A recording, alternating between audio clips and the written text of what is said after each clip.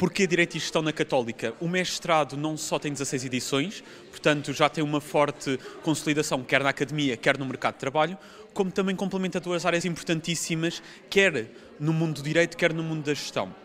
Não só é valorizado por sociedades, mas também por empresas. Portanto, aquilo que parece ao princípio um mestrado que fecha as oportunidades profissionais ao mundo da gestão, bem pelo contrário, abre-as a um recém-licenciado em Direito.